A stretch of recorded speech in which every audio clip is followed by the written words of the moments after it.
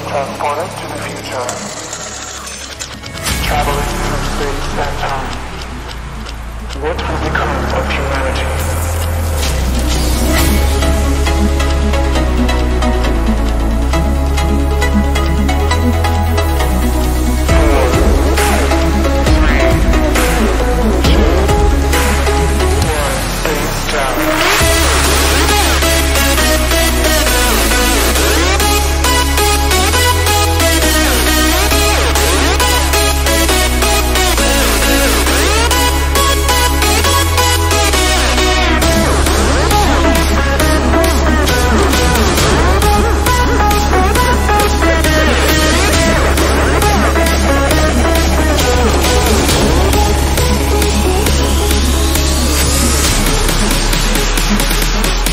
Thank you.